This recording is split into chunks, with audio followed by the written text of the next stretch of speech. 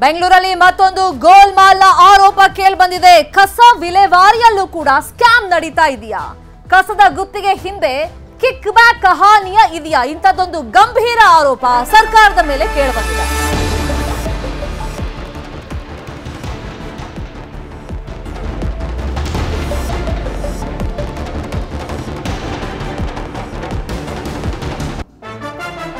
ಗುತ್ತಿಗೆ ನೆಪದಲ್ಲಿ ಕೋಟಿ ಕೋಟಿ ಕಿಕ್ ಬ್ಯಾಕ್ ಪಡ್ಕೊಂಡಿರುವಂತ ಆರೋಪ ಕೇಳಿ ಬರ್ತಾ ಇದೆ. ಬೆಂಗಳೂರಲ್ಲಿ ಮತ್ತೊಂದು ಗೋಲ್ಮಾಲ್ ಆರೋಪ ಕೇಳಿ ಬಂದಿರೋದು. ಈಗ ಕಸ ವಿಲೇವಾರಿಯಲ್ಲೂ ಕೂಡ ಸ್ಕ್ಯಾಮ್ ನಡೀತಾ ಇದೆಯಾ? ಹಾಗಾದ್ರೆ ಕಸದ ಗುತ್ತಿಗೆ ಹಿಂದೆ ಕಿಕ್ ಬ್ಯಾಕ್ನ ಕಹಾನಿ ಇದೆಯಾ? ಗುತ್ತಿಗೆ ನೆಪದಲ್ಲಿ ಕೋಟಿ ಕೋಟಿ ಕಿಕ್ ಬ್ಯಾಕ್ ಆರೋಪವನ್ನ ಮಾಡಲಾಗ್ತಾ ಇದೆ. ಸರ್ಕಾರದ ಮೇಲೆ ಮತ್ತೊಂದು ಗಂಭೀರ ಆರೋಪ ಕೇಳಿ ಬಂದಿದೆ. ಮೂವತ್ತು ವರ್ಷದ ಕಸ ವಿಲೇವಾರಿ ಗುತ್ತಿಗೆಯಲ್ಲಿ ಹಾಗಾದ್ರೆ ಸ್ಕ್ಯಾಮ್ ನಡೆದಿದೆಯಾ?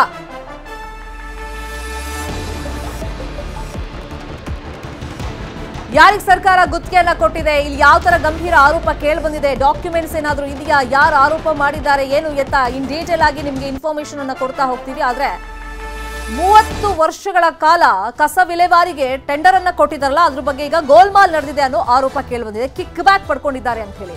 ಮೂವತ್ತು ವರ್ಷಕ್ಕೆ ಬೆಂಗಳೂರಿನ ಕಸ ವಿಲೇವಾರಿಗೆ ಗುತ್ತಿಗೆಯನ್ನ ನೀಡಲಾಗಿದೆ. ರೈಟ್ ಸಂಸ್ಥೆಯಿಂದ ಸರ್ಕಾರಕ್ಕೆ ಒಂದು ವರದಿ ಸಲ್ಲಿಕೆ ಆಗಿದೆ. ರೈಟ್ ಸಂಸ್ಥೆ ನೀಡಿದಂತ ವರದಿಯ ಪ್ರತಿ ನ್ಯೂಸ್ ಏಟೀನ್ಗೆ ಲಭ್ಯವಾಗಿದೆ. ಹಾಗಾದ್ರೆ ಮೂವತ್ತು ವರ್ಷಗಳ ಕಾಲ ಗುತ್ತಿಗೆ ಪಡೆದಿರುವಂತ ಟೆಂಡರ್ ಪಡ್ಕೊಂಡಿದ್ದಾರಲ್ಲ?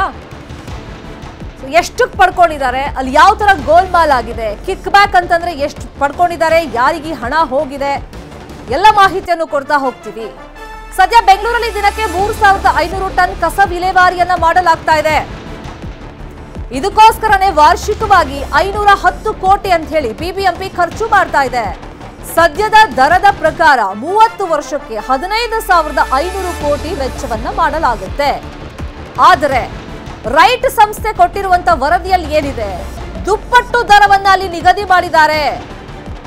ಆರ್ ಸಾವಿರದ ಐನೂರು ಟನ್ ಕಸ ವಿಲೇವಾರಿಗೆ ಅನುಗುಣವಾಗಿ ಒಂದು ವರದಿಯನ್ನ ರೆಡಿ ಮಾಡಿದ್ದಾರೆ. ಈ ವರದಿಯ ಪ್ರಕಾರ ವಾರ್ಷಿಕವಾಗಿ ಬೇಕಾಗೋದು ಸುಮಾರು ಸಾವಿರದ ನಾನೂರು ಕೋಟಿ ವೆಚ್ಚ, ಅಲ್ಲಿಗೆ ಒಟ್ಟು ಡಬಲ್ ಆಗುತ್ತೆ. ಮೂವತ್ತು ವರ್ಷಕ್ಕೆ ನಲವತ್ತು ಸಾವಿರ ಕೋಟಿ ವೆಚ್ಚ ಅಂತ ಹೇಳಿ ವರದಿಯಲ್ಲಿ ಉಲ್ಲೇಖವನ್ನ ಮಾಡಿದ್ದಾರೆ. ವರದಿಯಲ್ಲಿ ನಾಲ್ಕು ಪ್ಯಾಕೇಜ್ ರೀತಿ ಕಸ ವಿಲೇವಾರಿಗೆ ಪ್ಲಾನ್ ಅನ್ನ ಮಾಡ್ಕೊಂಡಿದ್ದೀವಿ ಅಂತ ಹೇಳಿ ರೈಟ್ ಸಂಸ್ಥೆ ವರದಿ ಕೊಟ್ಟಿದೆಯಲ್ಲ, ಅದರಲ್ಲಿ ಉಲ್ಲೇಖವನ್ನ ಮಾಡಿದೆ. ಆ ನಾಲ್ಕು ಪ್ಯಾಕೇಜ್ ಏನು, ಯಾವ ತರದ ಪ್ಯಾಕೇಜ್ ಅದು? ವರದಿಯಲ್ಲಿ ಏನೆಲ್ಲ ಉಲ್ಲೇಖ ಮಾಡಿದ್ದಾರೆ, ಆ ಬಗ್ಗೆನೂ ಮಾಹಿತಿ ನ್ಯೂಸ್ ಏಟೀನ್ಗೆ ಲಭ್ಯವಾಗಿದೆ. ಸರ್ಕಾರಕ್ಕೆ ಪ್ರಸ್ತಾವನೆಯನ್ನ ಸಲ್ಲಿಕೆ ಮಾಡಿರುವಂತಹ ಸಂಸ್ಥೆ ಹೆಸರು ರೈಟ್ ಸಂಸ್ಥೆ ಅಂತೇಳಿ ಮೂವತ್ತು ವರ್ಷಗಳ ಕಾಲ ಇಲ್ಲಿ ಕಸ ವಿಲೇವಾರಿಗೆ ಗುತ್ತಿಗೆಯನ್ನ ಪಡೆಯೋದಕ್ಕೆ ವರದಿಯನ್ನ ರೆಡಿ ಮಾಡಿದ್ದಾರೆ. ಇವ್ರು ಹೇಳೋ ಪ್ರಕಾರ ಮೂವತ್ತು ವರ್ಷಕ್ಕೆ ನಲವತ್ತು ಸಾವಿರ ಕೋಟಿ ವೆಚ್ಚವಾಗುತ್ತೆ ಅಂತ ಹೇಳಿ ಸರ್ಕಾರಕ್ಕೆ ಪ್ರಸ್ತಾವನೆಯನ್ನ ಸಲ್ಲಿಕೆ ಮಾಡಿದ್ದಾರೆ. ಅಸಲಿಗೆ ಎಷ್ಟು ಬೇಕಾಗಬಹುದು ಅವ್ರ ಪ್ರಸ್ತಾವನೆ ಕೊಟ್ಟಿರೋದು ಎಷ್ಟು ಅಂತಂದ್ರೆ ಒನ್ ಟು ಡಬಲ್ ಆಗ್ಬಿಡುತ್ತೆ. ಅಲ್ಲಿ ಗೋಲ್ಮಾಲ್ ಆಗಿದೆ. ಕಿಕ್ ಬ್ಯಾಕ್ ಪಡೆಯುವಂತ ಆರೋಪ ಈಗ ಸರ್ಕಾರದ ಮೇಲೆ ಕೇಳಬರ್ತಾ ಇದೆ. ಈಗ ಪ್ರಮುಖವಾಗಿ ವರದಿ ಅಂತ ಕೊಟ್ಟಿದ್ದಾರೆ. ಮೂರು ಅಂಶಗಳು ಉಲ್ಲೇಖ ಮಾಡಿದ್ದಾರೆ ಅಂತ ಹೇಳಿದ್ವಲ್ಲ ಅಂಶಗಳು ಏನು ಅಂತಂದ್ರೆ ಬೆಂಗಳೂರಿನ ಕಸವನ್ನ ನಾಲ್ಕು ಪ್ಯಾಕೇಜ್ಗಳಾಗಿ ವಿಲೇವಾರಿಯನ್ನ ಮಾಡಬೇಕಾಗತ್ತೆ. ಎರಡು ವಲಯಕ್ಕೊಂದು ಪ್ಯಾಕೇಜ್ ಮಾಡಿ ನಾವು ಗುತ್ತಿಗೆಯನ್ನ ಪಡ್ಕೊಳ್ಳೋದಕ್ಕೆ ರೆಡಿ ಇದ್ದೀವಿ. ದಿನಕ್ಕೆ ಆರು ಸಾವಿರದ ಐನೂರು ಟನ್ ಕಸ ವಿಲೇವಾರಿಗೆ ಅನುಗುಣವಾಗಿ ವರದಿಯನ್ನ ತಯಾರು ಮಾಡಿದೆ ರೈಟ್ ಸಂಸ್ಥೆ. ಈ ಪ್ರಕಾರ ವಾರ್ಷಿಕವಾಗಿ ಸುಮಾರು ಸಾವಿರದ ನಾನೂರು ಕೋಟಿ ವೆಚ್ಚ ತಗಲುತ್ತೆ. ಅಲ್ಲಿಗೆ ಮೂವತ್ತು ವರ್ಷಕ್ಕೆ ಟೆಂಡರ್ ಕೊಡೋದಾದ್ರೆ ನಲವತ್ತು ಸಾವಿರ ಕೋಟಿ ವೆಚ್ಚ ಆಗುತ್ತೆ ಅಂತ ಹೇಳಿ ಮಾಹಿತಿಯನ್ನ ನೀಡಿದೆ ನಾಲ್ಕು ಪ್ಯಾಕೇಜ್ ಬಗ್ಗೆ.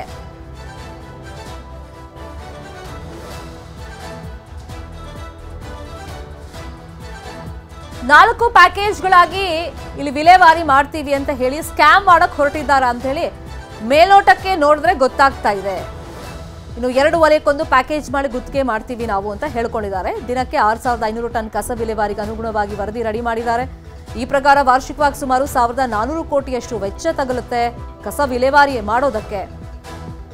ಅಲ್ಲಿಗೆ ಮೂವತ್ತು ವರ್ಷಕ್ಕೆ ನಲವತ್ತು ಸಾವಿರ ಕೋಟಿ ವೆಚ್ಚದ ಮಾಹಿತಿಯನ್ನು ಸಂಸ್ಥೆ ಕೊಟ್ಟಿದೆ. ವಲಯವಾರು ಪ್ಯಾಕೇಜ್ ಅನ್ನು ನಾವು ಗಮನಿಸ್ತಾ ಹೋಗೋದಾದ್ರೆ, ಬೆಂಗಳೂರು ದಕ್ಷಿಣ ಹಾಗೆಯೇ ಬೊಮ್ಮನಹಳ್ಳಿಗೆ ಸಾವಿರದ ಒಂಬೈನೂರ ಇಪ್ಪತ್ತೆರಡು ಟನ್ ಕಸ ವಿಲೇವಾರಿ ಮಾಡಿದ್ರೆ, ಬೆಂಗಳೂರು ಪಶ್ಚಿಮ ಹಾಗೆಯೇ ಆರ್ ಆರ್ ನಗರದಲ್ಲಿ ಸಾವಿರದ ಎಂಟುನೂರ ತೊಂಬತ್ತೊಂಬತ್ತು ಟನ್. ಬೆಂಗಳೂರು ಪೂರ್ವ ಹಾಗೆಯೇ ಮಹದೇವಪುರ ಈ ವ್ಯಾಪ್ತಿಯಲ್ಲಿ ಸಾವಿರದ ಐನೂರ ಇಪ್ಪತ್ತೆಂಟು ಟನ್ ಕಸ ವಿಲೇವಾರಿಯನ್ನು ನಾವು ಮಾಡ್ತೀವಿ ಅಂತ ಹೇಳ್ಕೊಂಡಿದ್ದಾರೆ.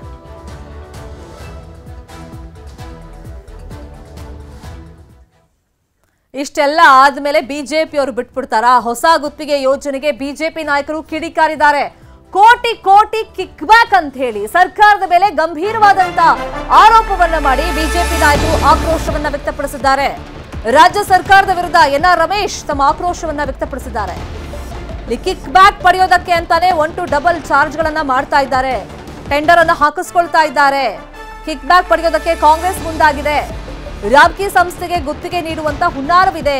ಬಿಬಿಎಂಪಿ ಕಪ್ಪು ಪಟ್ಟಿಯಲ್ಲಿ ರಾಮ್ಕಿ ಸಂಸ್ಥೆ ಇದೆ ಅಂತ ಹೇಳಿ ಅವರು ಆರೋಪವನ್ನ ಮಾಡಿದ್ದಾರೆ. ಮೂವತ್ತು ವರ್ಷಕ್ಕೆ ಗುತ್ತಿಗೆ ಕೊಡೋಕೆ ಯಾಕೆ ಇಷ್ಟೊಂದು ಉತ್ಸಾಹ ಕಾಂಗ್ರೆಸ್ ಅವರಿಗೆ? ಈ ಬಗ್ಗೆ ಸಿಎಂ ಸಿದ್ದರಾಮಯ್ಯಗೆ ಪತ್ರವನ್ನು ಬರೆದಿದ್ದಾರೆ. ಎನ್ ರಮೇಶ್ ಈ ಯೋಜನೆಗೆ ತಡೆ ಒಡ್ಡುವಂತೆ ಪತ್ರದಲ್ಲಿ ಎನ್ ರಮೇಶ್ ಮನವಿಯನ್ನ ಮಾಡಿಕೊಂಡಿದ್ದಾರೆ. ಆದೇಶದಂತೆ ಈಗಾಗಲೇ ಟೆಂಡರ್ ಕರೆದು ನ್ಯಾಯಾಲಯದ ಅನುಮತಿಯನ್ನು ಪಡೆದಿದ್ದಾರೆ. ಟೆಂಡರ್ ಓಪನ್ ಮಾಡಿ ಕಾರ್ಯಾದೇಶ ಪತ್ರ ಕೊಡೋದಷ್ಟೇ ಬಾಕಿ ಇರುವಂಥ ಸಂದರ್ಭದಲ್ಲಿ. ಮೂವತ್ತು ವರ್ಷಗಳ ಗುತ್ತಿಗೆಗೆ. ಪ್ರಸ್ತುತ ಒಂದು ಮೆಟ್ರಿಕ್ ಟನ್ನ ತ್ಯಾಜ್ಯ ವಿಲೇವಾರಿ ಕಾರ್ಯಕ್ಕೆ, ಅಂದರೆ ಕಲೆಕ್ಷನ್ ಆ್ಯಂಡ್ ಟ್ರಾನ್ಸ್ಪೋರ್ಟೇಷನ್ಗೆ ಅಂತ ಹೇಳಿ, ಎಲ್ಲ ಮಾಡಿ ಈ ಒಂದು ರಾಮ್ಕಿ ಅನ್ನತ್ತ ಹೇಳಿ ಬ್ಲ್ಯಾಕ್ ಲಿಸ್ಟೆಡ್ ಕಂಪ್ನಿ ನ್ಯಾಯಾಲಯದ ಆದೇಶದಂತೆ ಕಪ್ಪು ಪಟ್ಟಿಗೆ ಸೇರಿಸಲ್ಪಟ್ಟಿರತಕ್ಕಂಥ ಒಂದು ಅಯೋಧ್ಯ ರಾಮರೆಡ್ಡಿ ಎಂಬ ಆಂಧ್ರ ಮೂಲದ ಮಾಲೀಕತ್ವದ ರಾಮ್ಕಿ ಅನ್ನೋ ಸಂಸ್ಥೆಗೆ ಕೊಟ್ಟು ಇವತ್ತು ಎಂ ಎಸ್ ಜಿ ಪಿ ಸಂಸ್ಥೆಗೆ ಎಲ್ಲ ಅವ್ರದ್ದೇ ಸ್ವಂತ ವೆಚ್ಚದಲ್ಲಿ ಮಾಡಿಕೊಂಡು ಸಂಸ್ಕರಣೆ ಮಾಡ್ತಾ ಇರ್ತಕ್ಕಂಥವ್ರಿಗೆ ಇನ್ನೂರ ಅರವತ್ತು ರೂಪಾಯಿ ಕೊಟ್ಟರೆ ಪಾಲಿಕೆ ಮತ್ತು ಸರ್ಕಾರ ಎಲ್ಲ ರೀತಿಯ ಜಾಗ ಸೇರಿದಾಗೆ ಎಲ್ಲ ಮೂಲಭೂತ ಸೌಕರ್ಯ ಒದಗಿಸ್ಕೊಟ್ಟು ಅವರಿಗೆ ಆರುನೂರೈವತ್ತು ರೂಪಾಯಿ ಅಷ್ಟು ಹಣವನ್ನು ಕೊಡಕ್ಕೆ ಕೊಟ್ಟಿರೋಂಥದ್ದು ಸುಮಾರು ಎರಡೂವರೆ ಪಟ್ಟು ಹೆಚ್ಚು ಹಣವನ್ನು ಕೊಡಕ್ಕೆ ಕೊಟ್ಟಿರೋಂಥದ್ದು ಈ ಮೂಲಕ ವಾರ್ಷಿಕವಾಗಿ ಮೂರು ಸಾವಿರದ ಆರುನೂರು ಕೋಟಿಗೂ ಹೆಚ್ಚು ಐದು ವರ್ಷಗಳಿಗೆ ಅಂತ ಹೇಳಿ ಮಾಡಿದಾಗ, ಇದು ಮೂವತ್ತು ವರ್ಷಗಳಿಗೆ ಅಂತ ಮಾಡಿದಾಗ ಇದು ಅದು ಟಿಪ್ಪಿಂಗ್ ಫೀಸ್ ಜಾಸ್ತಿ ಆಗುತ್ತೆ, ಹಾಗೆ ಟ್ರಾನ್ಸ್ಪೋರ್ಟೇಷನ್ ಫೀಸ್ ಜಾಸ್ತಿ ಆಗುತ್ತೆ. ಪ್ರತಿ ಐದು ವರ್ಷಕ್ಕೆ ಯಾವುದೇ ಟೆಂಡರು ಐದು ವರ್ಷಕ್ಕೆ ಮಾತ್ರ ಇರುತ್ತೆ, ಐದು ವರ್ಷಕ್ಕಿಂತ ಜಾಸ್ತಿ ಇರೋಕ್ಕೆ ಸಾಧ್ಯ ಇಲ್ಲ. ಅದು ಐದು ವರ್ಷಕ್ಕೆ ತನ್ನಂತಾನೆ ಆಗೋದ್ರಿಂದ ಪ್ರತಿ ಐದು ವರ್ಷಕ್ಕೆ ಇದು ಮೂರು ಸಾವಿರದ ಆರುನೂರ ಮೂವತ್ತು, ಮೂರು ಸಾವಿರದ ಆರುನೂರ ಮೂವತ್ತು ಕೋಟಿ ಥರ ಆಗಿ ಇದು ಅಂತಿಮವಾಗಿ ಪ್ರತಿ ವರ್ಷ ಹತ್ತು ಪರ್ಸೆಂಟು ಹೆಚ್ಚಿಗೆ ಮಾಡಲಿಕ್ಕೆ ಎಸ್ಕಲೇಷನ್ ಮಾಡಲಿಕ್ಕೂ ಕೂಡ ಇದಕ್ಕೆ ಅವಕಾಶ ಕಲ್ಪಿಸ್ಕೊಟ್ರು ಅಂತ ಒಂದು ದೊಡ್ಡ ಒಂದು ಹುನ್ನಾರ ಇದು. ಇದೇ ವಿಚಾರವಾಗಿ ಇನ್ನಷ್ಟು ಡೀಟೇಲ್ ಆಗಿ ಇನ್ಫಾರ್ಮೇಶನ್ ಅನ್ನು ಕೊಡೋದಕ್ಕೆ ನೇರ ಸಂಪರ್ಕದಲ್ಲಿ ಕನೆಕ್ಟ್ ಇದ್ದಾರೆ ನಮ್ಮ reporter Ashik Mulki. Ashik Mulki N R Ramesh ಗಂಭೀರ ಆರೋಪದ ಜೊತೆಯಲ್ಲಿ ಈ ರಾಮ್ಕಿ ಸಂಸ್ಥೆ ಬಿಬಿಎಂಪಿಯಲ್ಲಿ ಕಪ್ಪು ಪಟ್ಟಿಯಲ್ಲಿದೆ ಅಂತೆಲ್ಲ ಹೇಳ್ತಾ ಇದ್ದಾರೆ. ಯಾವ ವಿಷಯಕ್ಕಾಗಿ ಕಪ್ಪು ಪಟ್ಟಿಗೆ ಹೋಯಿತು? ಸೊ ಇದೇ ಸಂಸ್ಥೆಗೆ ಟೆಂಡರ್ ಕೊಡೋದು ಅಂತ ಫೈನಲ್ ಆಗಿದೆಯಾ?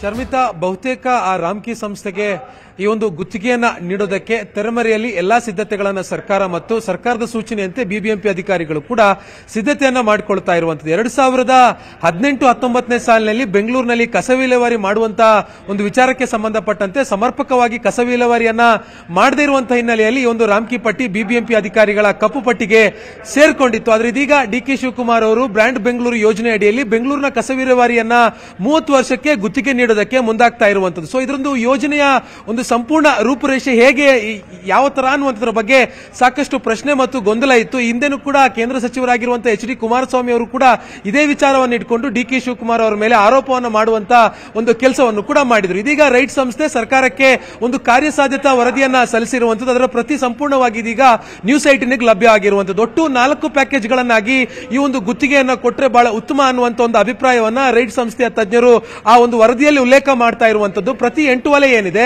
ಈ ಎಂಟು ವಲಯದಲ್ಲಿ ಪ್ರತಿ ಎರಡು ವಲಯಕ್ಕೆ ಒಂದು ಪ್ಯಾಕೇಜ್ ನಂತೆ ಅದನ್ನು ವಿಂಗಡಣೆ ಮಾಡಿ ಅಂದ್ರೆ ಮೂವತ್ತು ವರ್ಷಕ್ಕೆ ಬರೋಬ್ಬರಿ ನಲವತ್ತು ಸಾವಿರಕ್ಕಿಂತಲೂ ಅಧಿಕ ಏನು ಮೊತ್ತವನ್ನ ತನ್ನ ವರದಿಯಲ್ಲಿ ಕೋಟ್ ಮಾಡಿರುವಂತದ್ದು ಆದ್ರೆ ಅಲ್ಲಿನ ವಾಸ್ತವಿಕ ಸ್ಥಿತಿಗತಿಗಳನ್ನ ನೋಡೋದಾದ್ರೆ, ಆ ರೈಟ್ ಸಂಸ್ಥೆ ತಮ್ಮ ವರದಿಯಲ್ಲಿ ಉಲ್ಲೇಖ ಮಾಡಿರುವಂತಹ ರೀತಿಯಲ್ಲಿ ಪ್ರತಿದಿನ ಬೆಂಗಳೂರಿನಲ್ಲಿ ಆರು ಸಾವಿರದ ಐನೂರಕ್ಕಿಂತಲೂ ಹೆಚ್ಚಿನ ಟನ್ ಏನು ಕಸ ಉತ್ಪತ್ತಿ ಆಗುತ್ತೆ, ಅದನ್ನ ವಿಲೇವಾರಿ ಮಾಡೋದಕ್ಕೆ ಇಷ್ಟು ಮೊತ್ತ ತಗಲುತ್ತೆ ಅನ್ನುವಂಥ ಒಂದು ಒಂದಿಷ್ಟು ವಿಚಾರಗಳನ್ನ ತಮ್ಮ ವರದಿಯಲ್ಲಿ ಉಲ್ಲೇಖ ಮಾಡಿರುವಂಥದ್ದು. ಆದರೆ ವಾಸ್ತವಿಕವಾಗಿ ಬೆಂಗಳೂರಿನಲ್ಲಿ ಪ್ರತಿದಿನ ಮೂರು ಸಾವಿರದ ಇನ್ನೂರಿಂದ ಮೂರು ಸಾವಿರದ ಆರುನೂರು ಟನ್ ಅಷ್ಟೇ ಕಸ ಏನು ಉತ್ಪತ್ತಿ ಆಗ್ತಾ ಇರುವಂಥದ್ದು. ಅದಕ್ಕೆ ವಾರ್ಷಿಕವಾಗಿ ಬಿಬಿಎಂಪಿ ಅಧಿಕಾರಿಗಳು ಖರ್ಚು ಮಾಡ್ತಾ ಇರುವಂಥದ್ದು. ಬರೋಬ್ಬರಿ ಐನೂರ ಹತ್ತು ಕೋಟಿ ರೂಪಾಯಿ. ಆದರೆ ಈಗ ಹೊಸದಾಗಿ ಆ ಕಾಂಗ್ರೆಸ್ ಸರ್ಕಾರ ಜಾರಿ ಮಾಡೋದಕ್ಕೆ ಹೊರಟಿರುವಂತಹ ಈ ಒಂದು ಹೊಸ ಯೋಜನೆ ಏನಿದೆ? ಮೂವತ್ತು ವರ್ಷಕ್ಕೆ ಬೆಂಗಳೂರಿನ ಕಸ ವಿಲೇವಾರಿ ಮಾಡೋದಕ್ಕೆ ಒಂದು ಗುತ್ತಿಗೆ ಕೊಡುವಂತಹ ಒಂದು ಒಂದು ಪ್ರಾಜೆಕ್ಟ್ ಏನಿದೆ.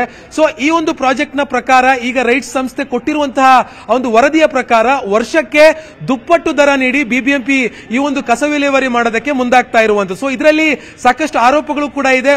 ಮೂವತ್ತು ವರ್ಷಕ್ಕೆ ಹದಿನೈದರಿಂದ ಹದಿನಾರು ಸಾವಿರ ರೂಪಾಯಿ ಸಾವಿರ ಕೋಟಿ ರೂಪಾಯಿಯಲ್ಲಿ ವಿಲೇವಾರಿ ಆಗುವಂತ ಬೆಂಗಳೂರಿನ ಕಸವನ್ನ ಒಂದು ಸಂಸ್ಥೆಗೆ ಗುತ್ತಿಗೆ ನೀಡಿ ಅದನ್ನ ಮತ್ತೆ ನಾಲ್ಕು ಸಂಸ್ಥೆಗಳಿಗೆ ಸಬ್ ಕಾಂಟ್ರಾಕ್ಟ್ ನೀಡುವ ಮೂಲಕವಾಗಿ ನಲವತ್ತು ಸಾವಿರ ರೂಪಾಯಿ ಏನು ಕೋಟ್ ಮಾಡಲಾಗಿದೆ. ಈ ಮೂಲಕವಾಗಿ ಕಾಂಗ್ರೆಸ್ ಸರ್ಕಾರ ಬರೋಬ್ಬರಿ ಹದಿನೈದರಿಂದ ಇಪ್ಪತ್ತು ಸಾವಿರ ರೂಪಾಯಿ ಕಿಕ್ ಬ್ಯಾಕ್ ಪಡೆಯೋದಕ್ಕೆ ಒಂದು ಹುನ್ನಾರ ಮಾಡಿದೆ ಅನ್ನುವಂತ ಆರೋಪವನ್ನ ಬಿಜೆಪಿ ಮುಖಂಡರು ಮಾಡ್ತಾ ಇರುವಂತದ್ದು. ಇದಿನ್ನೂ ಕೂಡ ಕಾರ್ಯಸಾಧ್ಯತೆ ವರದಿ ಸಲ್ಲಿಕೆಯಾಗಿದೆ ಅಷ್ಟೇ. ಅಂದ್ರೆ ತೆರಮರಿಯಲ್ಲಿ ಇದು- ಇದನ್ನ ಜಾರಿ ಮಾಡಬೇಕು ಅನ್ನುವಂತ ಒಂದು ನಿರ್ಧಾರವನ್ನ ಸರ್ಕಾರ ಮಾಡಿದೆ. ಆದ್ರೆ ಇದಕ್ಕೆ ಈಗ- ಈಗ ಸಾಕು ದೊಡ್ಡ ಪ್ರಮಾಣದಲ್ಲಿ ವಿರೋಧ ಕೇಳಿ ಬರ್ತಾ ಇರುವಂತದ್ದು. ಸೊ ಈ ಈ ಒಂದು ಸಂದರ್ಭದಲ್ಲಿ ಸರ್ಕಾರ ಯಾವ ರೀತಿಯಾಗಿರುವಂತಹ ನಿರ್ಧಾರವನ್ನ ತೆಗೆದುಕೊಳ್ಳುತ್ತೆ ಅನ್ನುವಂಥದ್ದನ್ನ ಕಾದ್ ನೋಡಬೇಕಾಗುತ್ತೆ Sharmita. Fine thank you Ashik Mulki ತಮ್ಮೆಲ್ಲ ಇನ್ಫಾರ್ಮೇಶನ್ಗೆ ಬೆಂಗಳೂರಲ್ಲಿ ನಾಯಿ, ಮಾಂಸ ಮಾರಾಟದ ಆರೋಪ ಕೇಳಬಂದಿತ್ತಲ್ಲ ಈಗ ಕಾಟನ್ಪೇಟೆ ಠಾಣೆಯಲ್ಲಿ ಮೂರು ಎಫ್ಐಆರ್ ದಾಖಲಾಗಿದೆ. ಪುನೀತ್ ಕೆರೆಹಳ್ಳಿ ಹಾಗೂ ಸಹಚರರ ವಿರುದ್ಧವೂ ಕೂಡ ಕೇಸ್ ದಾಖಲು ಮಾಡಲಾಗಿದೆ. ಇಲ್ಲಿ ಪ್ರಮುಖವಾಗಿ ಕರ್ತವ್ಯಕ್ಕೆ ಅಡ್ಡಿ ಹಾಗೆಯೇ ಬೆದರಿಕೆ ಆರೋಪದಲ್ಲಿ ಕೇಸನ್ನು ಹಾಕಿ ಎಫ್ಐಆರ್ ದಾಖಲು ಮಾಡಲಾಗಿದೆ.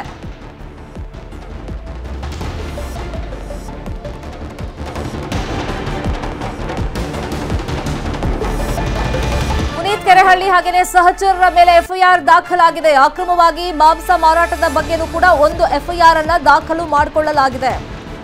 ಕರ್ತವ್ಯಕ್ಕೆ ಅಡ್ಡಿ ಹಾಗೆಯೇ ಬೆದರಿಕೆ ಆರೋಪದಲ್ಲಿ ಪುನೀತ್ ಕೆರೆಹಳ್ಳಿ ಟೀಮ್ ಮೇಲೆ ಎಫ್ಐಆರ್ ದಾಖಲಾಗಿರೋದು. ಮತ್ತೊಂದು, ಅಕ್ರಮವಾಗಿ ಮಾಂಸ ಮಾರಾಟದ ಬಗ್ಗೆ ಒಂದು ಎಫ್ಐಆರ್ ದಾಖಲಾಗಿದೆ. ಮೂರು ಎಫ್ಐಆರ್ ಟೋಟಲ್ ಆಗಿ ದಾಖಲಾಗಿರೋದು ಈ ಪ್ರಕರಣದಲ್ಲಿ. ಸಾರ್ವಜನಿಕ ಸ್ಥಳದಲ್ಲಿ ಗಲಾಟೆ ಆರೋಪದಲ್ಲೂ ಕೂಡ ಕೇಸ್ ದಾಖಲಾಗಿದೆ. ಕಾನೂನು ಬಾಹಿರ ಚಟುವಟಿಕೆ ಅಡಿಯಲ್ಲಿ ಕೇಸನ್ನು ದಾಖಲು ಮಾಡಿಕೊಂಡಿದ್ದಾರೆ ಪೊಲೀಸರು. ಇನ್ಸ್ಪೆಕ್ಟರ್ ಹಾಗೇನೆ ಎರಡು ಪಿಎಸ್ಐಗಳ ದೂರಿನ ಅನ್ವಯ ಎಫ್ಐಆರ್ ಈಗ ರಿಜಿಸ್ಟರ್ ಆಗಿದೆ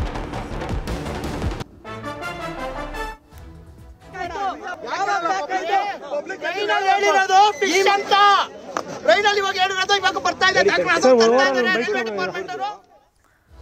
ಈಗ ಆರೋಪ ಕೇಳಿ ಬಂದ್ಮೇಲೆ ಆ ಸ್ಯಾಂಪಲ್ಗಳನ್ನು ಲ್ಯಾಬಿಗೆ ಕಳಿಸ್ಕೊಟ್ಟಿದ್ದಾರೆ. ಇನ್ನೊಂದು ಹದಿನಾಲ್ಕು, ಹದಿನೈದು ದಿವಸ ಬೇಕು ರಿಪೋರ್ಟ್ ಬರಕ್ಕೆ ಅಂತ ಹೇಳ್ತಾ ಇದ್ದಾರೆ. ಅಧಿಕೃತವಾಗಿ ರಿಪೋರ್ಟ್ ಬರೋಕ್ಕೂ ಮುಂಚಿತವಾಗಿ ಅಧಿಕಾರಿಗಳು ಏನ್ ಹೇಳ್ತಾರೆ ಅಂದ್ರೆ ಮೇಲೋಟಕ್ಕೆ ಇದು ನಾಯಿ ಮಾಂಸ ಆ ಥರ ಕಾಣಿಸ್ತಾ ಇಲ್ಲ, ಗೊತ್ತಾಗಿಲ್ಲ ನಮ್ಗದು.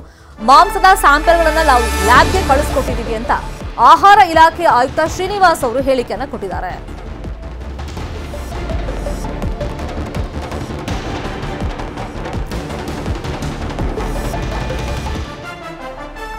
ಇನ್ನು ಹನ್ನೆರಡು ಜನರಿಗೆ ಮಾಂಸ ಮಾರಾಟದ ಲೈಸೆನ್ಸ್ ಅನ್ನು ನಾವು ಕೊಟ್ಟಿದ್ದೀವಿ. ಬೆಳಿಗ್ಗೆಯಿಂದ ಒಂದು ಸುದ್ದಿ ಓಡಾಡ್ತಾ ಇತ್ತು. ಅಬ್ದುಲ್ ರಜಾಕ್ಗೆ ನೋಟಿಸ್ ಅನ್ನ ಕೊಟ್ಟಿದ್ದಾರೆ ಅಂತ ಹೇಳಿ. ಆದರೆ ಅಬ್ದುಲ್ ರಜಾಕ್ಗೆ ಇದುವರೆಗೂ ಯಾವುದೇ ನೋಟಿಸ್ ಅನ್ನ ಕೊಟ್ಟಿಲ್ಲ ಅಂತ ಆಹಾರ ಇಲಾಖೆಯ ಆಯುಕ್ತ ಶ್ರೀನಿವಾಸ್ ಅವರೇ ಸ್ಪಷ್ಟನೆಯನ್ನ ಕೊಟ್ಟಿದ್ದಾರೆ.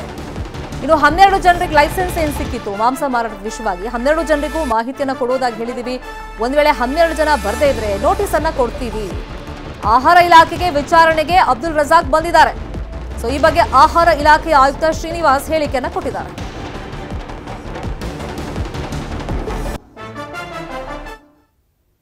ಇದು ರಾಜಸ್ಥಾನದಿಂದ, ಜೈಪುರಿಂದ ವಾರಕ್ಕೆ ಮೂರು ದಿನ ಈ ಒಂದು ಮಾಂಸ ಪದಾರ್ಥನ ಅವರು ಸರಬರಾಜು ಮಾಡ್ಕೊಂತಿದ್ದಾರೆ.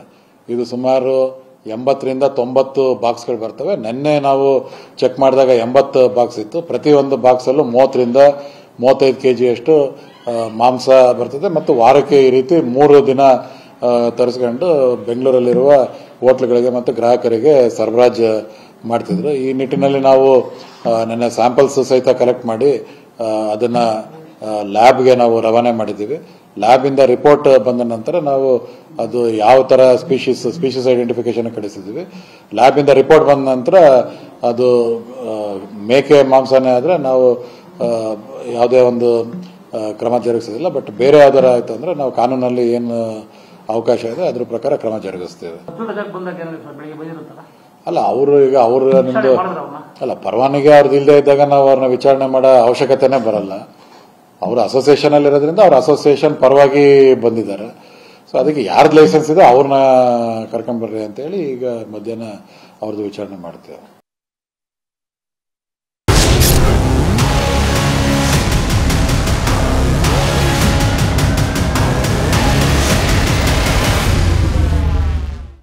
ಶಿರೂರು ಗುಡ್ಡದಲ್ಲಿ ಹನ್ನೆರಡು ದಿನದ ಆಪರೇಷನ್ ಮುಂದುವರೆದಿದೆ. ಕಾರ್ಯಾಚರಣೆಯನ್ನ ಇವತ್ತು ಕೂಡ ಮುಂದುವರಿಸಲಾಗಿದೆ. ಲಾರಿ ಪತ್ತೆ ಜಾಗದಲ್ಲಿ ಮುಳುಗು ತಜ್ಞರು ತೀವ್ರ ರೀತಿಯಲ್ಲಿ ಶೋಧವನ್ನ ಮಾಡ್ತಾ ಇದ್ದಾರೆ.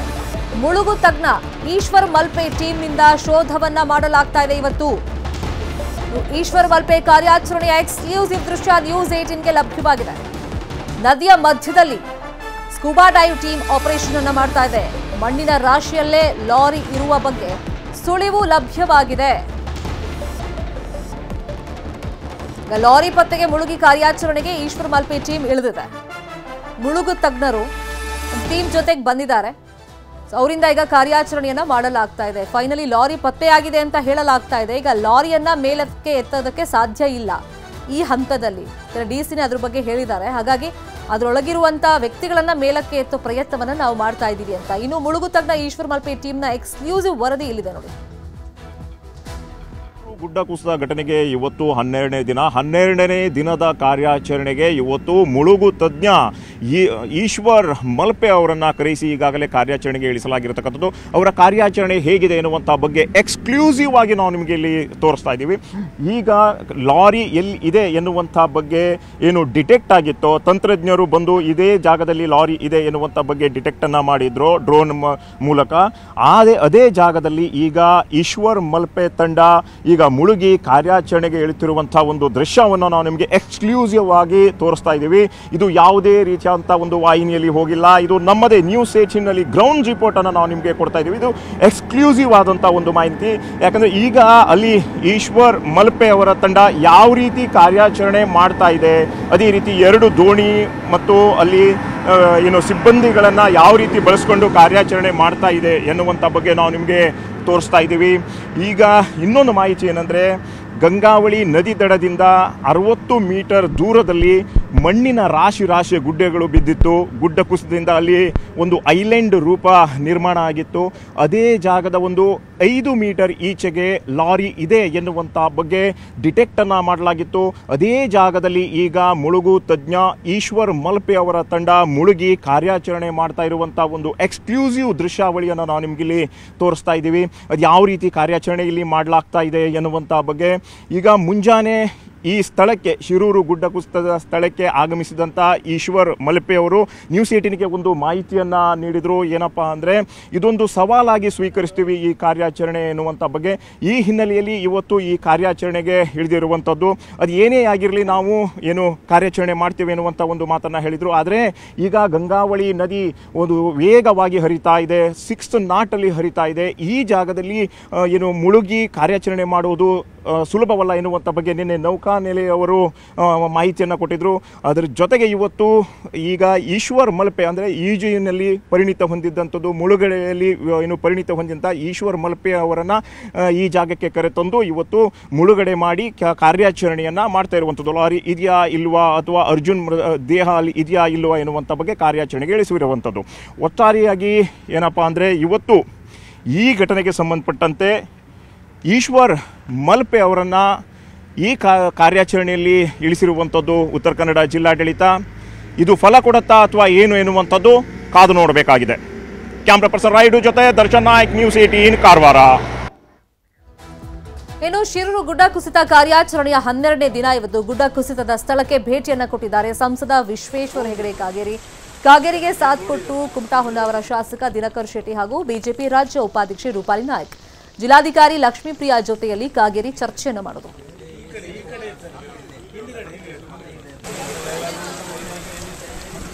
ಅಂತ ನಮ್ಮ ಸೈನ್ಯವು ಅತ್ಯಾಧುನಿಕ ಸಲಕರಣೆಗಳನ್ನೆಲ್ಲವನ್ನು ಬಳಸಿ ಈಗ ಆ ಗಾಡಿ ಎಲ್ಲಿರಬಹುದು ಅನ್ನೋದನ್ನು ಐಡೆಂಟಿಫೈ ಮಾಡಿದ್ದಾರೆ. ಅದ್ರ ಮೇಲೆ ಮಣ್ಣಿದೆ, ಮಣ್ಣಿನ ಮೇಲೆ ನೀರು ಹೋಗ್ತಾ ಇದೆ. ಇದೆಲ್ಲ ನೀವು, ನಾವೆಲ್ಲ ನೋಡಿರುವಂಥ ದೃಶ್ಯ. ಅದನ್ನು ಅದನ್ನು ತೆಗೆಯೋದ್ರ ಬಗ್ಗೆ ತಾಂತ್ರಿಕವಾದಂತಹ ಪರಿಣಿತಿಯನ್ನೆಲ್ಲ ಹೊಂದಿರೋರು ಸಹ ಸಾಕಷ್ಟು ಜನ ಈ ಸ್ಥಳದಲ್ಲಿ ಅವರು ಬಂದಿದ್ದಾರೆ. ಇನ್ನೂ ಕೆಲವು ಇಕ್ವಿಪ್ಮೆಂಟ್ಸ್ಗಳು ಬೇಕು ಅನ್ನೋದಿದೆ. ಅದು ಸಹ ಬರ್ತಾ ಇದೆ. ಅಂತಿಮವಾಗಿ ಇದೊಂದು ಬಹಳ ಕ್ಲಿಷ್ಟಕರವಾದಂತಹ, ಗಂಭೀರವಾದಂತಹ ಸಮಸ್ಯೆ ಇದೆ. ಈ ಸಮಸ್ಯೆಯನ್ನು, ಪರಿಹಾರವನ್ನು ಕೇಂದ್ರ ರಾಜ್ಯ ಸರ್ಕಾರ ಜೊತೆ ಸೇರಿ ಈ ಪರಿಹಾರವನ್ನು ಹುಡುಕೋದಕ್ಕೆ ಆ ಮೂರು ಯೋಜನ ಏನಾದರೂ ಅನ್ನೋದನ್ನು ನೋಡೋದಕ್ಕೆ ಆ, ಹಗಲಿರುಳು ಶ್ರಮಿಸ್ತಾ ಇದ್ದಾರೆ. ಎಲ್ಲರೂ ಸಹ ಈ ಇಂತಹ ದುರ್ಘಟನೆ ಸಂದರ್ಭದಲ್ಲಿ ತಾನು ಏನೆಲ್ಲ ಪ್ರಯತ್ನವನ್ನು ಮಾಡಿ ಸ್ಪಂದಿಸ್ಬೋದು ಅದಕ್ಕೆ ಸ್ಪಂದಿಸೋದಕ್ಕೆ ಪ್ರಯತ್ನ ಮಾಡ್ತಾ ಇದ್ದಾರೆ. ನಾನು ಆ ಪ್ರಯತ್ನ ಫಲ ಸಿಗಲಿ ಅಂತ ಮತ್ತೊಮ್ಮೆ ಆಶಿಸ್ತೇನೆ. ಶಿರೂರು ಬಳಿಯಲ್ಲಿ ಬಲಿಗೆ ಕಾಯ್ತಾ ಇವೆ ಇನ್ನಷ್ಟು ಗುಡ್ಡಗಳು. ಕೇರಳ ಗೋವಾ ಹೈವೇ ಪಕ್ಕದಲ್ಲಿನ ಗುಡ್ಡಗಳು. ಈ ಬಗ್ಗೆ ನ್ಯೂಸ್ ಏಟಿನ್ ಮೆಗಾ ರಿಯಾಲಿಟಿ ಚಕ್ಕನ್ನು ಮಾಡಿದೆ. ಈಗೇನು ಎಕ್ಸಾಕ್ಟ್ ಆಗಿ ಗುಡ್ಡ ಕುಸಿತ ಆಗಿದೆ ಶಿರೂರಲ್ಲಿ? ಅದೇ ಜಾಗದಲ್ಲಿ ಗುಡ್ಡ ಕುಸಿಯುತ್ತೆ ಅಂತೇಳಿ ಜಿಲ್ಲಾಡಳಿತಕ್ಕೆ ಮೊದಲೇ ಮಾಹಿತಿ ಇದ್ರೂ ಕೂಡ ಯಾವುದೇ ರೀತಿಯಲ್ಲೂ ಕ್ರಮ ಕೈಗೊಳ್ಳದಂತ ಹಿನ್ನೆಲೆಯಲ್ಲಿ ದೊಡ್ಡ ಅನಾಹುತ ಸಂಭವಿಸಿಬಿಟ್ಟಿದೆ. ಇನ್ನೂ ಒಂದಿಷ್ಟು ಅಪಾಯದ ಸ್ಥಳಗಳಿವೆ ಅಲ್ಲಿ. ಈ ಬಗ್ಗೆ news eighteen mega reality check ಮಾಡಿದೆ. ಹೊನ್ನಾವರ ಟು ಶಿರೂರು ಮಾರ್ಗದ ಹೈವೇ. ಜೋಗ ಹೊನ್ನಾವರ ರಸ್ತೆ ಡೇಂಜರ್. ವರ್ಣಕೇರಿ ಬಳಿಯಲ್ಲಿ ಗುಡ್ಡಗಳು ಜಾರುವಂತ ಪರಿಸ್ಥಿತಿಯಲ್ಲಿವೆ. ದೃಶ್ಯಗಳು ಗಮನಿಸ್ತಾ ಇದ್ದೀವಿ. ನೋಡಿ, ಬಲಿಗೋಸ್ಕರ ಇನ್ನೂ ಸಾಕಷ್ಟು ಗುಡ್ಡದ ಅಪಾಯದ ಅಂಚಿನಲ್ಲಿದೆ. ಕಾಣಿಸ್ತಾ ಇದೆ ನಮಗೆ. ಒಂದ್ಸತಿ ಜರ್ದ್ ಬಿಟ್ರೆ ಅದು ನಿಧಾನವಾಗಿ ಆ ಮಳೆ ಪ್ರಮಾಣ ಜಾಸ್ತಿ ಆಗ್ತಾ ಇದ್ದಂಗೆ ಭೂಮಿ ಬಾಯ್ ಬಿಡ್ತಾ ಬರುತ್ತೆ. ಈ ಬಗ್ಗೆ ನಮ್ಮ ಪ್ರತಿನಿಧಿ ವಿನಯ್ ವಿವರಣೆಯನ್ನ ಕೊಟ್ಟಿದ್ದಾರೆ. ರಿಯಾಲಿಟಿ ಚೆಕ್ ಮಾಡಿದ್ದಾರೆ. ನೋಡೋಣ. ಉತ್ತರ ಕನ್ನಡದ ಶಿರೂರಿನಲ್ಲಿ ಗುಡ್ಡ ಕುಸಿತದಿಂದಾಗಿ ಹಲವರು ಮೃತಪಟ್ಟಿದ್ದಾರೆ. ಈಗಲೂ ಕೂಡ ಒಂದು ಏನು ಲಾರಿ ಏನು ಇದೆ, ಆ ಲಾರಿ ಚಾಲಕನಾಗಿರ್ಬೋದು, ಹಾಗೆ ಅವ್ರ ಜೊತೆಗಿದ್ದಂತವ್ರನ್ನ ಹುಡುಕಾಟ ಈಗ ನಡೆಸ್ತಾ ಇದ್ದಾರೆ. ಅದ್ರ ಜೊತೆಗೆ ಈಗ ಏನು ಬಿದ್ದಿರುವಂತಹ ಬಿದ್ದಿರುವಂತ ಮಣ್ಣನ್ನು ಕೂಡ ಈಗ ತೆಗೆಯೋದಕ್ಕೆ ಏನು ಸರ್ಕಾರ ಆಗಿರ್ಬೋದು, ಅಂದ್ರೆ ಇಲ್ಲಿ ಸ್ಥಳೀಯ ಆಡಳಿತ ಇರ್ಬೋದು, ಎಲ್ಲ ರೀತಿಯಿಂದಲೂ ಪ್ರಯತ್ನ ಪಡ್ತಾ ಇದೆ, ಹಾಗೆ ಹರಸಾಹಸವನ್ನು ಪಡ್ತಾ ಇದೆ. ನಾವೀಗ ಶಿರೂರಿನ ಇನ್ನೊಂದು ಭಾಗದಲ್ಲಿದ್ದೀವಿ ನೋಡ್ತಾ ಇರ್ಬೋದು, ಏನು ಗುಡ್ಡ ಕುಸಿತ ಇದೆ, ಆ ಗುಡ್ಡ ಕುಸಿತ ಆದಂತಹ ಇನ್ನೊಂದು ಭಾಗ ಏನಿದೆ, ಶಿರೂರಿನ ಏನು ಕುಮಟಾ ಕಡೆಯಿಂದ ಬರುವಂತಹ ಭಾಗ ಏನಿದೆ, ಅಲ್ಲಿ ಈಗ ಪೊಲೀಸರು ಬ್ಯಾರಿಗೇಟ್ ಅನ್ನು ಹಾಕೊಂಡು ಈಗ ಏನು ಏನು ಯಾರೇ ಹೋಗದಂತೆ ನೋಡ್ಕೊಂತ ಇದ್ದಾರೆ. ಇಲ್ಲಿಂದ ಒಂದು ಎರಡು, ಒಂದು ಕಿಲೋಮೀಟರ್ ದೂರದಲ್ಲಿ ಆ ಗುಡ್ಡ ಕುಸಿತ ನಡೆದು, ಆಗಿರೋದು. ಈಗ ಸದ್ಯಕ್ಕೆ ಅಲ್ಲಿ ಕಾರ್ಯಾಚರಣೆಯನ್ನು ಕೂಡ ನಡೆಸ್ತಾ ಇದ್ದಾರೆ. ಇದೇ ರಸ್ತೆಯಲ್ಲಿ, ಅಂದ್ರೆ ಕುಮಟಾ ಭಾಗದಿಂದ ಹೊನ್ನಾವರದಿಂದ ಬರುವಂತ ಏನು ಈ ಹೈವೇ ಇದೆ, ಈ ಹೈವೇ ಏನು, ಈ ನದಿ ಇದೆ, ಆ ನದಿಯ ಪಕ್ಕದಲ್ಲಿ ಹಲವಾರು ಗುಡ್ಡ ಕುಸಿತಗಳು ಸಂಭವಿಸುವ ಸಾಧ್ಯತೆ ಕೂಡ ಇದೆ. ಯಾಕಂದ್ರೆ ಸದ್ಯಕ್ಕೆ ಇಲ್ಲಿ ನೋಡ್ತಾ ಇರುವಂತ ನೀವು ನೋಡ್ತಾ ಇರಬಹುದು ಈ ನದಿಯ ಏನು ರಸ್ತೆ ಇದೆ. ಆ ರಸ್ತೆಯ ಉದ್ದಕ್ಕೂ ಏನು ಇನ್ನೊಂದು ಹತ್ತರಿಂದ ಹದಿನೈದು ಕಿಲೋಮೀಟರ್ ದೂರದಲ್ಲಿ ಹಲವಾರು ರೀತಿಯಂತ ಏನು ಗುಡ್ಡಗಳು ಇದೇ ರೀತಿಯಾಗಿ ಬಾಯ್ತೆರೆದು ನಿಂತಿದೆ ಅಂತ ಹೇಳ್ಬೋದು. ಯಾಕಂದ್ರೆ ಅವೈಜ್ಞಾನಿಕ ಕಾಮಗಾರಿಯಿಂದ ಈ ರೀತಿ ಆಯಿತು ಅಥವಾ ನಿರ್ಲಕ್ಷ್ಯದಿಂದ ಆಯಿತು ಅಥವಾ ಏನು ಮುಂಬರುವಂತಹ ಈ ತರ ಸಾಧ್ಯತೆಗಳನ್ನು ಕಡೆಗಣಿಸಿದ್ದಕ್ಕೆ ಈ ತರ ಆಗಿತ್ತು ಅನ್ನೋ ಒಂದು ಅನುಮಾನ ಕೂಡ ಈಗ ವ್ಯಕ್ತವಾಗಿದೆ. ಅದ್ರ ಜೊತೆಗೆ ಈಗ ಸದ್ಯಕ್ಕೆ ಈ ಪೊಲೀಸರು ಕೂಡ ಈ ಭಾಗದಲ್ಲಿ ಯಾವ್ಯಾವ ಗುಡ್ಡ ಕುಸಿತ ಇದೆ ಅಲ್ಲೆಲ್ಲೂ ಕೂಡ ಎಲ್ಲ ಕಡೆನೂ ಕೂಡ ಪೊಲೀಸರು ಬಂದೋಬಸ್ತನ್ನು ಹಾಕಿದ್ದು, ಯಾರು ಕೂಡ ಅಲ್ಲಿ ನಿಲ್ಲದಂತೆ ಒಂದು ವ್ಯವಸ್ಥೆಯನ್ನು ಮಾಡಿಕೊಳ್ಳಲಾಗ್ತಾ ಇದೆ. ಅದ್ರ ಜೊತೆಗೆ ಏನು? ಕುಮಟಾ ಆಗಿರ್ಬೋದು, ಹೊನ್ನಾವರ ಆಗಿರ್ಬೋದು, ಈ ಎರಡು ರಸ್ತೆಯನ್ನು ಏನು ಕನೆಕ್ಟ್ ಮಾಡುವಂತಹ ಶಿರೂರು ಭಾಗ ಏನಿದೆ, ಆ ಭಾಗದಲ್ಲಿರುವಂತಹ ಗುಡ್ಡಗಳ ಏನು ಕುಸಿತ ಇದೆ, ಅದಕ್ಕೆ ಮುಂಜಾಗ್ರತಾ ಕ್ರಮವನ್ನು ವಹಿಸಬೇಕಾಗಿದೆ. ಇನ್ನಷ್ಟು ಮುಂಜಾಗ್ರತಾ ಕ್ರಮವನ್ನು ವಹಿಸಬೇಕಾಗಿದೆ. ಸದ್ಯಕ್ಕೆ ಏನೇನು, ನಾವು ಜೋಗದಿಂದ ಇಲ್ಲಿವರೆಗೂ ಬರುವಂತಹ ರಸ್ತೆಗಳಲ್ಲಿ ಹಲವಾರು ಗುಡ್ಡ ಕುಸಿತಗಳು ಅಂದ್ರೆ ಸಾಧ್ಯತೆ ಕೂಡ ಹೆಚ್ಚಿದೆ. ಯಾಕಂದ್ರೆ ಏನು ಲ್ಯಾಂಡ್ ಅನ್ನ ಅಂದ್ರೆ ರಸ್ತೆಯನ್ನು ಮಾಡಬೇಕಾದ್ರೆ ಒಂದಿಷ್ಟು ಕ್ರಮಗಳನ್ನು ಕ್ರಮಗಳನ್ನ ವಹಿಸಬೇಕಾಗಿತ್ತು. ಅದನ್ನ ಯಾವುದನ್ನು ಕೂಡ ಈಗ ಕ್ರಮಗಳನ್ನು ವಹಿಸದೆ ಗಾಳಿಗೆ ತೂರಿ, ನಿಯಮಗಳನ್ನ ಗಾಳಿಗೆ ತೂರಿ ಈ ರೀತಿಯ ಘಟನೆಗಳಿಗೆ ಕಾರಣವಾಗಿದೆ. ಯಾಕಂದ್ರೆ ಮಣ್ಣನ್ನ ತೆಗಿಬೇಕಾದ್ರೆ ಸ್ಟ್ರೈಟ್ ಆಗಿ ತೆಗೆಯುವ ಅವಶ್ಯಕತೆ ಇರೋದಿಲ್ಲ. ಆದ್ರೆ ಮಣ್ಣನ್ನ ಸ್ಲೈಡ್ ಅನ್ನ ರೀತಿಯಲ್ಲಿ ತೆಗಿಬೇಕಾಗಿರುತ್ತೆ. ಅದನ್ನ ಯಾರು ಕೂಡ ವಹಿಸಿರಲ್ಲ. ಅಂದ್ರೆ ಗಟ್ಟಿ ಗಟ್ಟಿಮುಟ್ಟಾದ ಜಾಗ ಇಲ್ಲದೆ ಇರೋದ್ರಿಂದ ಒಂದೇ ಸರಿ ಕುಸಿಯುವ ಸಾಧ್ಯತೆ ಕೂಡ ಇದೆ. ಈಗ ಇದೇ ಕಾರಣದಿಂದಾಗಿ ಶಿರೂರು ಭಾಗದಲ್ಲಿರುವಂತಹ ಗುಡ್ಡ ಏನಿದೆ, ಆ ಗುಡ್ಡ ಕುಸಿದ್ರಿಂದಾಗಿ ಹಲವರು ಸತ್ತಿದ್ದಾರೆ. ಇದನ್ನ ಗಮನದಲ್ಲಿಟ್ಕೊಂಡು ಈಗ ಸದ್ಯಕ್ಕೆ ಈಗ ಏನು ಸರ್ಕಾರ ಆಗಿರ್ಬೋದು, ಹಾಗೆ ಜಿಲ್ಲಾಡಳಿತ ಆಗಿರ್ಬೋದು, ಎಲ್ಲ ರೀತಿಯ ಕ್ರಮಗಳನ್ನ ಕೈಗೊಳ್ಳಬೇಕಾಗಿದೆ ಸದ್ಯಕ್ಕೆ ಈಗ ಈ ತರ ಏನು ಗುಡ್ಡ ಕುಸಿಯುವ ಸಾಧ್ಯತೆಗಳಿದೆ. ಅಲ್ಲಿ ಹೋಗಿ ಒಂದಿಷ್ಟು ಕ್ರಮಗಳನ್ನ ಕೈ ಮುಂಜಾಗ್ರತಾ ಕ್ರಮಗಳನ್ನ ಕೈಗೊಂಡು ಅಲ್ಲಿ ಯಾವುದೇ ರೀತಿಯ ವ್ಯಕ್ತಿಗಳು ನಿಲ್ಲದಾಗೆ ನೋಡ್ಕೊಳ್ಬ ಈಗ ಪರಿಸ್ಥಿತಿ ಎದುರಾಗಿದೆ ಅಂತ ಹೇಳ್ಬೋದು. ಕ್ಯಾಮರಾ ಪರ್ಸನ್ ಗುರುಶೇಖರ್ ಜೊತೆ ವಿನಯ್ ಪುರ್ದಾಳ್, ಉತ್ತರ ಕನ್ನಡ. ಇದು ಪ್ರತಿಯೊಬ್ಬರೂ ಎಚ್ಚೆತ್ಕೊಳ್ಬೇಕಾಗಿರುವಂತಹ ಸಮಯ. ದಿನೇ ದಿನೇ ಏರ್ತಾ ಇರುವಂತಹ ತಾಪಮಾನದಲ್ಲಿ ಬದುಕು ಬೆಂದು ಹೋಗ್ತಾ ಇದೆ. ಅಸಮತೋಲಿತ ವಾತಾವರಣ, ಅಕಾಲಿಕ ಮಳೆ ಸೊರಗ್ತಾ ಇರುವಂತಹ ಜೀವಜಲ. ಹೀಗೆ ಪರಿಸರದ ಪರದಾಟಗಳು ಒಂದ ಎರಡ. ಈ ಎಲ್ಲ ಸವಾಲುಗಳ ಮೇಲೆ ಬೆಳಕನ್ನ ಚೆಲ್ಲಿ, ಸವಾಲುಗಳಿಗೆ ಪರಿಹಾರಗಳನ್ನ ಮನವರಿಕೆ ಮಾಡಿಕೊಡುವಂತ ಪ್ರಯತ್ನಕ್ಕೆ ಇಳಿದಿದೆ news eighteen news eighteen one tree ಅಭಿಯಾನಕ್ಕೆ ಮೆಚ್ಚುಗೆ ವ್ಯಕ್ತವಾಗಿದೆ. मैं समझता हूँ कि ये सबसे अच्छा अभियान है, सबसे पर्पसफुल अभियान है, सबसे देश के लिए इस वक्त जो एक बहुत दर्दनाक स्थिति है, पेड़ों की कमी, उसको पूरा करने की तरफ़ एक ये है। ये जो है क्लाइमेट चेंज जगह जगह आगे जो लग रही हैं और तमाशे हो रहे हैं, उसके लिए ये सबसे अच्छा अभियान है। और ये अभियान का जो ज़ोर है वो पूरे देश में फैलना चाहिए। सब लोगों में कोई छूटना नहीं चाहिए। आपने जितने पेड़ आज लगाए हैं ना यहाँ पे इससे आप अपनी ऑफ़िस के पाँच छः एयर कंडीशनर निकाल सकते हैं। अपने आप टेम्परेचर इतना डाउन हो जाएगा। ज़िंदा रहने के लिए सबसे बेसिक चीज़ है सांस लेना। अगर हवा ही इतनी पोल्यूशन लेवल आपको पता है क्या है उसमें आपको ये ही आपको ऑक्सीजन देंगे जिससे आप ज़िंदा रह सकते हैं। ಕರುನಾಡಿನ ಸಿರಿ ಸೌಂದರ್ಯದ ಸೊಬಗನ್ನ ಸಂಭ್ರಮಿಸುವ ಹಬ್ಬ. ಇದು ನ್ಯೂಸ್ ಏಟಿನ ಕರುನಾಡ ಹಬ್ಬ. ಭರ್ಜರಿ ಮನರಂಜನೆಯೊಂದಿಗೆ ಹಸಿವು ತಣಿಸಲು ಆಹಾರ ಮೇಳವೂ ಇದೆ. ದಾವಣಗೆರೆಯ ಹೈಸ್ಕೂಲ್ ಮೈದಾನದಲ್ಲಿ ನ್ಯೂಸ್ ಏಟಿನ್ ಕರುನಾಡ ಹಬ್ಬಕ್ಕೆ ಅದ್ದೂರಿಯಾಗಿ ಚಾಲನೆ ಸಿಕ್ಕಿದೆ. ಇವತ್ತು ಹಾಗೆಯೇ ನಾಳೆ ಕರುನಾಡ ಹಬ್ಬ ನಡೀತಾ ಇದೆ. ಪ್ರವೇಶ ಉಚಿತವಾಗಿದೆ. ನೀವು ಬನ್ನಿ, ನಿಮ್ಮವರನ್ನೂ ಕರೆತನ್ನಿ. ಪಾಲ್ಗೊಂಡು ಎಂಜಾಯ್ ಮಾಡಿ.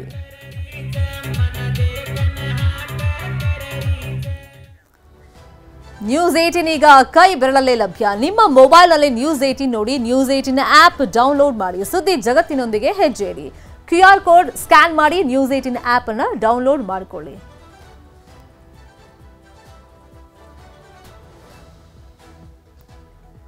ಇವಿಷ್ಟು ಸದ್ಯದ ನ್ಯೂಸ್ ಅಪ್ಡೇಟ್ಸ್ ನೋಡ್ತಾರೆ ನ್ಯೂಸ್ ಏಟೀನ್ ಕನ್ನಡ. ಕನ್ನಡಿಗರ ನೆಚ್ಚಿನ ನ್ಯೂಸ್ ಏಟೀನ್ ಕನ್ನಡ ಈಗ ವಾಟ್ಸ್ಆಪ್ನಲ್ಲೂ ಲಭ್ಯ. ಕರ್ನಾಟಕ, ದೇಶ, ವಿದೇಶಗಳ ತ್ರೀ ಸಿಕ್ಸ್ಟಿ ಡಿಗ್ರಿ ಸುದ್ದಿಯ ವಿವರಗಳನ್ನ ನಿಮ್ಮ ಕೈ ಬೆಳುಗಳಲ್ಲೇ ಪಡಿಲಿಕ್ಕೆ ಈ ಕ್ಯೂ ಆರ್ ಕೋಡ್ ಅನ್ನ ಸ್ಕ್ಯಾನ್ ಮಾಡಿ. ನಮ್ಮ ಚಾನಲ್ ಫಾಲೋ ಮಾಡಿ ನೋಟಿಫಿಕೇಶನ್ ಆನ್ ಮಾಡಿ.